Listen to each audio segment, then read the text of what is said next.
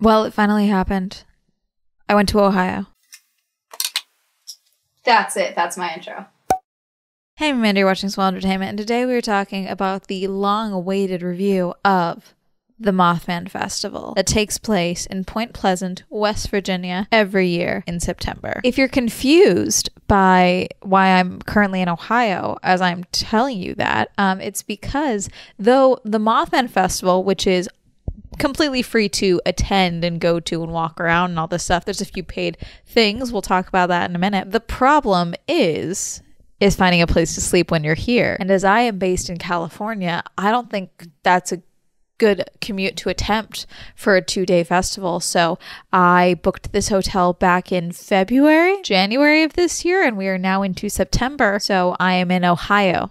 Athens, Ohio, to be specific. It's a about 45 minutes to an hour drive from Point Pleasant, which is basically my average commute to go to the grocery store in Los Angeles. So it doesn't really matter for me. But really quick, I need to tell you about the sponsor of today's video, twitch.com slash swell entertainment. Starting the month of october 2023 i am officially going to start streaming on twitch. So if you want even more of me and swell entertainment be sure to go check me out over on twitch. It'll be linked down below. So before we jump on into all of this with the review of the event itself um, i should probably explain something very important. I love mothman. I love mothman okay? That's one of my favorite cryptid if well, some people don't think he's a cryptid. My favorite unexplained phenomenon how about that? Why is he my favorite? I don't know. He's very baby girl coded, and everyone likes Bigfoot. I don't think Mothman gets enough attention. Half of the draw of most of the attractions in Point Pleasant is that it's the only blank Mothman thing in the country. That's it. Like, that's half of the draw. There is one one place where Mothman is the star, and it's Mothman Festival. So naturally, I, who sometimes goes by Mothmanda when I'm feeling like a smartass, because if I show up at your event, assume something's gonna go wrong. naturally, I had to get my little butt over here. So I guess going to Mothman Festival is a real test of faith because you really have to decide if you believe the Mothman caused the bridge collapse because you go over like several bridges to get in here. There are things on this world that we cannot explain, okay? And whether or not you choose to believe them is completely up to you. I am not going to sit here and tell you to believe one thing or not. That's not the point of this video. Basically, starting back in 1966 around West Virginia, specifically around the Point Pleasant area, there was a few sightings from different uh, groups of people in cars seeing what they described as a man with wings that was very bird like. Okay. There was some various uh, discrepancies between what they were explaining, but pretty much most of them mentioned that they had a 10 foot wingspan. All black, glowing red eyes, 10 foot wingspan following their cars, impossibly fast. Then in December of 1967, the bridge going over the Ohio River connecting Ohio to West Virginia collapsed. And there were some reports of people seeing what looked like a bird type man near the bridge before it collapsed. Tragically, 46 people died that day and two bodies were not found. Some of the survivors of the collapse, whether they were on a ferry boat that was going down the river at the time or the ones that were actually on the bridge that survived, some of them described seeing a figure that we later would call the Mothman. Apparently, they wanted to call him the Batman, but obviously that was taken at the time. Now, if you watch the movie The Mothman Prophecies, in that movie they claim the bridge collapse was never identified for like the reason that it collapsed. That's in fact not true. The reasons were identified. Basically, bridges back then didn't have any contingency plans. The bridges you see nowadays pretty much all have a contingency plan. If one thing fails, three other things are probably going to keep it in place. This bridge did not have any contingency plans. So I believe it was one rusted rivet or something, just had too much pressure on it. And once it snapped, everything went crumbling down. So, because we know the cause of the collapse, most people, to my understanding, believe that Mothman is not, in fact, causing problems and pitch collapses and terrible things to happen to people once they see him.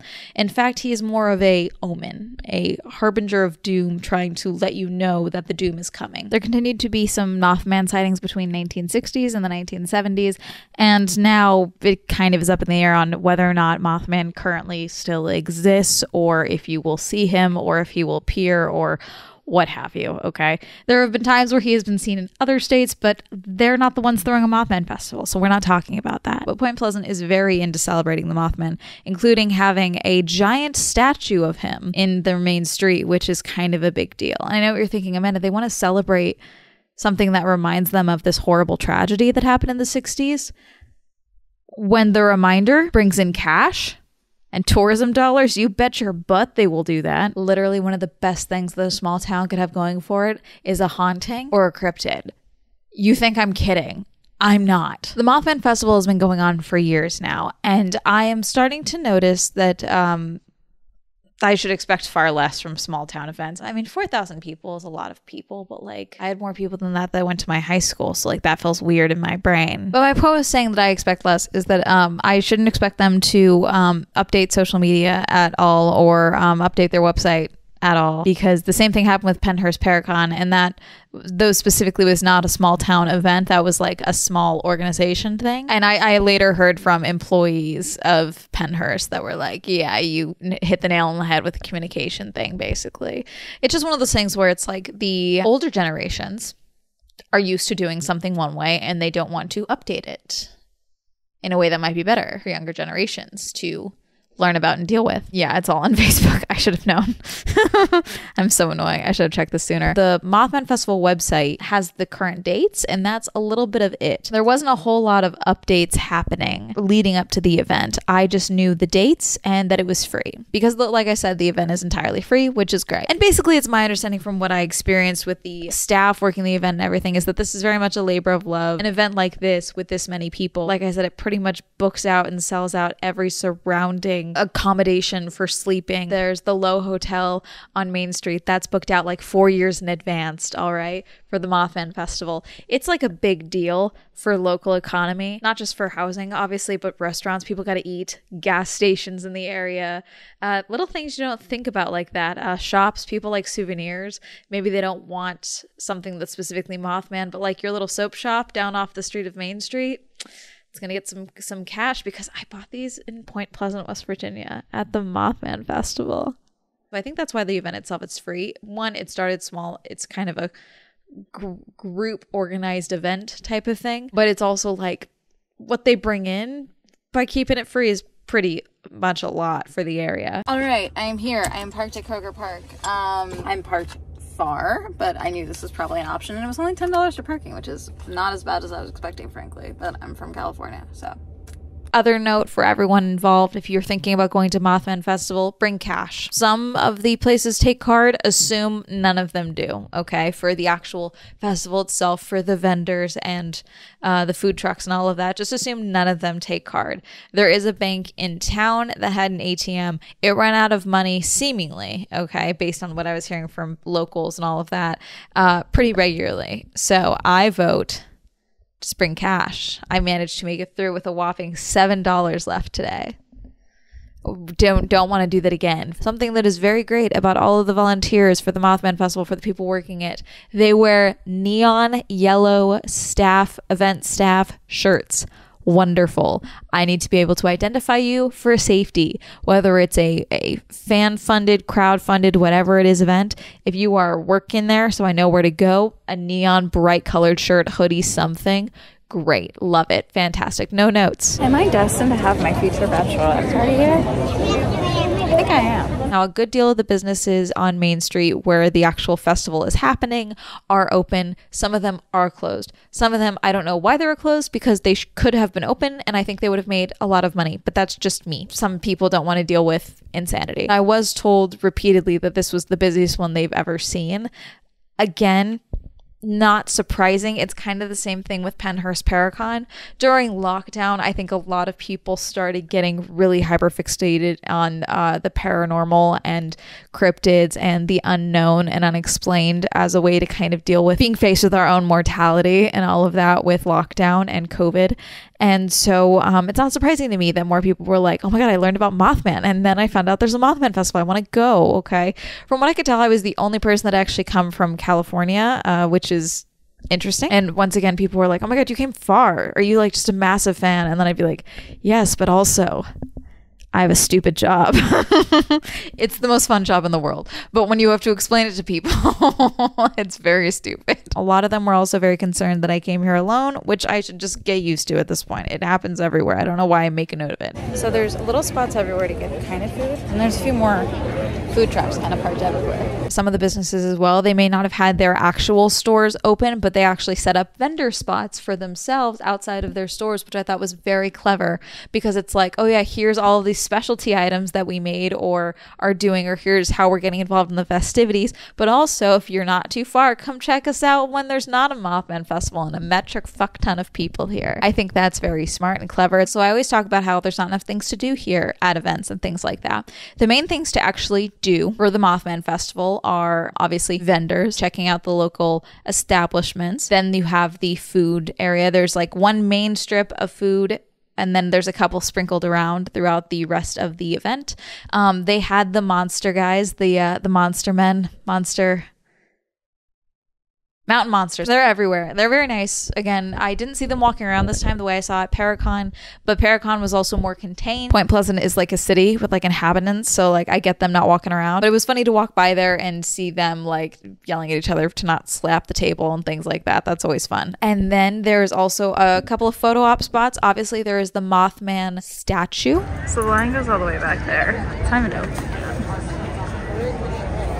So maybe I'll try later, but right now it's a no. there was also this whole thing where people were bringing him beans and Sprite. I have to look into that a bit more because I don't get that reference. My guess, based off my knowledge of how the internet works, is that it's BuzzFeed Unsolved related, but I will look further into that. Multiple other photo op spots. If you walk past the food court and go out down to where the river is, there is actually a little amphitheater actually built into the side, and they have bands set up and bands performing pretty much all the time which is very cool. The name of the game here is definitely Wander, because how else would I find something with the name of Mothman Festivus? That's just the only thing you can find wandering. You know what I'm saying? Further down, if you go back to the main street and go all the way down, all the way, all the way down, I think they should have advertised this more. I think they should have made a bigger deal about this. That's just me. But again, little little tweaky things okay if you go all the way down to what you think is the end of the festival is the senior center. And that is where they had the speakers talking. Now these speakers could be various ufo cryptid specialists. They had faye speak yesterday. I got the tail end of her talk. Um, she first saw mothman when she was about 12 and this was if i'm remembering the timeline correctly it's actually before the bridge collapse is when she and her siblings said they saw the mothman. And she is very firm in what she saw. She will keep talking. Very very sweet. Then today I caught the tail end of the title of the talk was UFOs and National Security. Caught a little bit of that. Um, and he was telling a story about how while he was overseas in Iraq, there were um, two people that um, apparently ran to surrender and were screaming ghosts and aliens each of them were one was screaming ghosts one was screaming aliens but prior to saying that he i don't know if he admitted to war crimes or not to try and like explain how this was not normal because they would trick you into thinking they were going to surrender. I was like, oh, what the fuck is going on? you know, when you forget where you are for a minute, because he was like sermonizing this. It was very odd. It was a, an interesting experience. I try to be open minded, but motherfuck. Along the same route with weapons and ammunition left with shoes and clothing. It was like somebody snatched them old boys up out of there. But that building is really far down. And unfortunately, that senior center actually only holds like max 150 chairs. Because the fire marshal and they don't want to get shut down they were very sticklers about if you there's no seat you're not in there. If you're not sitting your butt in a seat you're not in there. There was times where we were waiting outside and so i was talking with some of the staff. Because i had asked i was like oh what about the theater? Like is that at all operational? Because you'll see in some of the clips they have the the marquee it says like welcome to point pleasant mothman festival September 16th and 17th. And I was like, oh, is that at all operational? And I had been told it's not because the sewage has backed up underneath the stage. And one of the other, uh, when I when we, I was talking with another one of the organizers, they told me, yeah, last year we were having a lot of issues because the stage was burping at us Yikes. But that theater holds 400 and they are hoping that someone buys it from the current owners. It's currently privately owned and they are doing nothing with it and fixes it up. I'm not going to lie, I was thinking thoughts. I've always wanted to own a little theater. but I would like to own it where I can see it, and I am not moving to West Virginia. There's also a few other shops that are like big shops, like Bunker 286 616 something. The Trading Post, that's a big one. Obviously, the Mothman Museum. Yesterday, the line was way too long. I did not do that yesterday. Also, yesterday was um, Moth Jam. So that's Moth Jam. And if you're a veteran, it's free. If you're not a veteran, then it's $15. And you get two beers for that. And they have music playing till 9 o'clock. It's called Moth Jam. I did not go in there because he was tried to pitch it to me based on like, yeah, the beers don't count as money but I don't even drink. Aside from like the main area of the vendors, even walking over, there were people who had set up tents and were like, "Hey, we're selling cookies. Here, selling hats." Side note: um, this is the only place I think where I can see one booth, and at that booth, they are selling both a Blue Lives Matter flag and a "Made You Look Red" joke hat. I don't know what to do with that information, but it felt weird. Also weird here, and this personally I, is something I have not personally looked into specifically when it comes to cryptids, but the relation of religion with different cryptids. Now, I did hear some people say that they do believe that Mothman 2 is an angel and that is just like that's why he was warning people and all of that. And so there I can understand that correlation. But it was interesting to walk into the Bible store that is on Main Street to see rosaries and like Bible journals and alien plushies on sale on the same display is like very interesting to me. And I, I think there's something there to look into more. Like the, the correlation and the intersection of religion to mythology and cryptids and the paranormal and all of that. Because there are some people like I had a girl in high school that I was friends with who was very very Christian who straight up told me I was going to hell one for being bi but also for saying that I believe that aliens are probably out there because there's just too much out there for us to know everything. She fully told me I, I was going to go to hell and that I was going to burst into flames one day.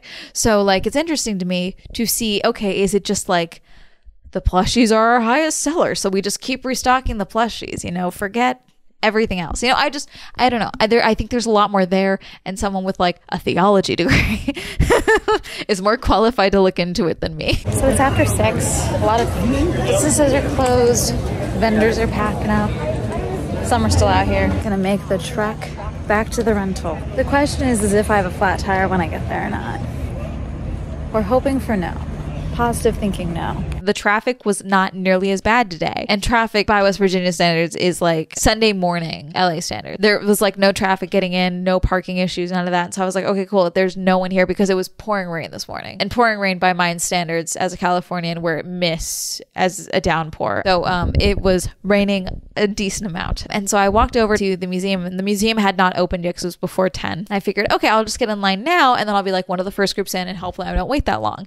Ended up waiting about an hour ish to actually get inside, which was not too bad, except it did ruin the rest of my day because I was soaked through. I was wearing uh, my hand me down nice, it's not real suede, I don't believe, but it's, it's, it's a nice jacket because it's like kind of the perfect weight for like when it gets chilly, but it's not like bulky, so it's not heavy, you know, it's like the perfect kind of jacket for this thing. Um, it's not water resistant whatsoever. It's soaked through. I used it to cover my head and my hair. I took it off to like fix my glasses at one point, and the whole back of my head was just soaping wet. So I was like, oh, this sucks. And then I was just miserable. I was like, cool, I'm just getting wet. I'm soaking wet. And um, the thing with having a dump truck of a butt, I can't even say with a straight face.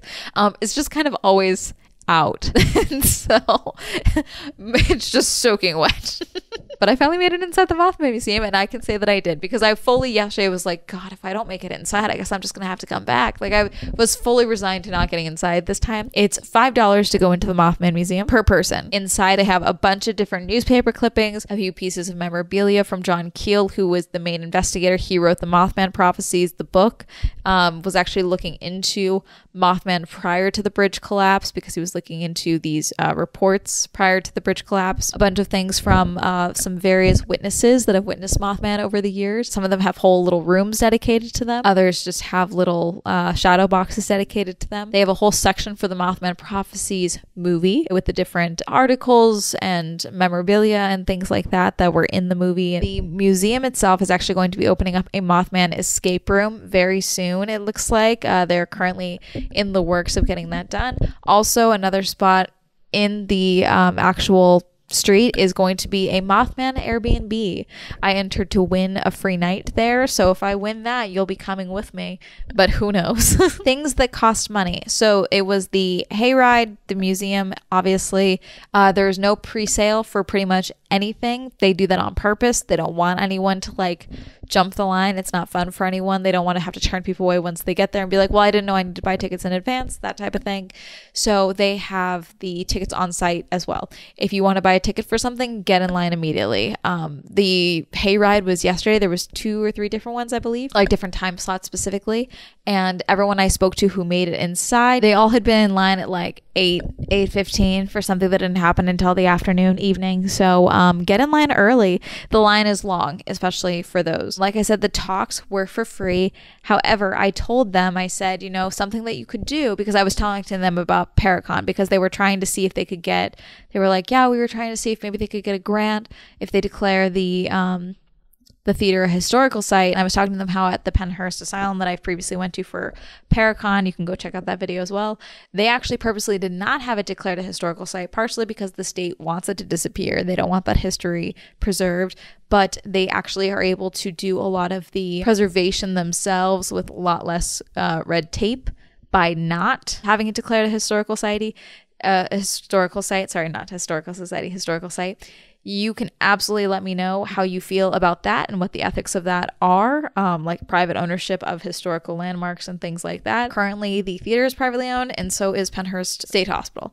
Um, so let me know what you think about that. But I was talking to them as well. I was like, you know, something that you could do because I think obviously the ticketed events here, like the museum and the hayride, those are very popular. Them costing a couple of bucks is not a big deal. I think there would be nothing wrong with you being like, hey, if you want to make sure you have a seat to this talk, you can buy a ticket here and then say, oh, yeah, when you buy a ticket, the money is going to restoring the theater. Like, have a goal in mind versus just like, yeah, this costs money. It's kind of like when you're getting married and instead of just having a honeymoon fund, you say, oh, buy us dinner for our honeymoon, you know, that type of thing. Um, when there's an actual specific goal in mind versus just like a, restoration. People are more likely to um, be supportive of that cause when they actually know where the money is going. GoFundMe also would do really well if you advertised it through the uh, museum as well. Again, make it the Mothman Theater. I don't know. Use this harbinger of doom to bring in some people. Also, yesterday, this is funny to me now, but like it really should. When I explain this to people, it bothers them. I think it's funny. Basically, my father does not worry about me at all. Some people are like, "Oh my god, does your father know what you're doing? You're like really close to your dad. Does he? What is? How does he feel about this? The as long as I'm not talking about Scientology, my dad does not care what I do. I messaged him last night. I was like, "Hey, I'm gonna go ghost hunting um, with a group of strangers on a boat. Just say no." No response. Nothing this morning. I had to call him three times to be like, Are you alive? What is going on? Basically, Haunted Majestic is a decommissioned World War II boat that has been turned into several different things from several different private owners and is now a haunted attraction that is going to be a haunted house slash haunted experience later this month. Okay and uh, they were advertising at Mothman Festival. And so I was like, okay, this will be fun. I haven't done ghost hunting since Paracon. I might as well go do that. So I signed up for it. Um, it was 20 bucks for one person. There's only 20 people per night, uh, per time slot. So there was 20 of us in the 9 p.m. one. I'm not going to talk about it a ton because there's going to be a whole short form breakdown of all of that and the review of that over on TikTok and shorts here. I love seeing you guys, especially at events. The, the I, it's so funny when it's like I did not expect to see you here. I'm everywhere, baby. I'm Mothmanda. What's also funny to me is when I go to a restaurant out here and I g- go and get myself some food, and then at the end they're like, "By the way, I love your videos. Why are you here?" The threat of seeing Swell Entertainment at your small town restaurant is never zero. no Mothman sightings. Not that I expect to see him or anything like that. Um, I don't know. I'm not sure what a camp I'm in as far as like his current existence. I just like the idea of Mothman more than anything. He was just in the wrong place at the wrong time. Truly. Would I come back again? Yes. A bunch of my friends were like, "What the fuck? I would have come with you. I told you guys about it. None of you wanted to come. I don't know what you guys want me to do when I tell you exactly where I'm going. And none of you are like, oh, yeah, sure, I'll go with you. I already booked the hotel. They ended up giving me two beds. You could have bunked with me, but whatever. You wanted to stay home and like have a real job and a real life. I think what's something that's very interesting about this as well is like the people that love this event specifically was really nice to see. Not just the the locals and the people that are like running the event, but also like the attendees. Um, I met a couple of people that are like, oh yeah, I've been to like the last four. This is our second one. This is our first one. It's so exciting. I've been wanting to come for years. I overheard someone say this is the most gay people I've ever seen in West Virginia in one place. I cannot attest to the validity of that statement but I did clock a lot of gays. I upped that population by one. I loved everyone's different cosplays. There was a lot of people dressed up from the game Fallout. Don't ask me questions. I don't know. There was a lot of people dressed up in their own versions of different Mothman. A lot of like very casual fits, like the implication of Mothman, Mothman bounding, if you will. And then people in full on full Mothman suits and costumes. Apparently, at one point, one of them got on with the Stay Puft Marshmallow Man that was in like the little costume on a boat last night um, after I left, which was very cool. Apparently, I saw photos of that with like glowing red eyes on top of a boat. I really think that like like the little tweaks that could be made are mainly better communication, updating the website more, updating your Twitter. You have not updated your Twitter since what looks like 2017. you have the Twitter, use it, okay? That's all I'm saying. I think having an extra ticketed event that is specifically for like funding you know restoration of the theater or something like that working with the the current private owners and all of that i think that would be a really great thing and something that a lot of people could get behind. Again it's a piece of history. It's a better venue for a lot of things. That's really nice. It's currently the state theater it looks like. If you make it the mothman theater or like officially like point pleasant theater or something like that like and you like get like really cool light up signs with that the photo potential there insane. Oh, um, there was the 5K that they did Saturday morning. I missed this. However, I do think that if I were to do this again, I would try and do the 5K because that's a doable amount of miles for me to actually run. And apparently, Mothman chases you, and that's adorable. And I think that's really going to be it. Have you ever been to the Mothman Festival? Is this your first time hearing about Mothman? Have you heard me call myself Mothmanda before and you thought I was stupid and you didn't understand what that meant? Let me know. Comment down below. Reminder I have a podcast, the Swell Shenanigans Podcast. Reminder that Swell Entertainment is now available on Spotify, and this episode will be available tomorrow. Reminder I have merch. There will definitely be a designer for this one. I just don't know what it'll be yet. Shout out to my patrons. Thank you so much for supporting my Patreon. If you'd also explore my Patreon, levels down below. Like some my social media, that'll be up here. And that's gonna be have a lovely day. Goodbye.